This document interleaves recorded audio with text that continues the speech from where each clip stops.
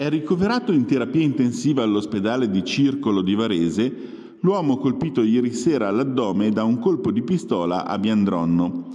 Le sue condizioni sono comunque ritenute soddisfacenti dai medici, visto che non è stato necessario alcun intervento chirurgico, ma solo un drenaggio toracico.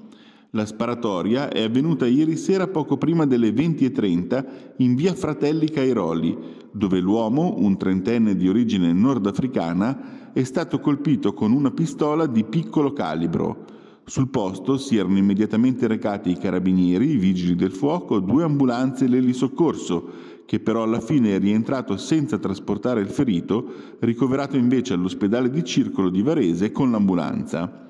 La sparatoria è avvenuta in una zona al confine con Travedona, dove al margine della strada si trovano ampi tratti di vegetazione.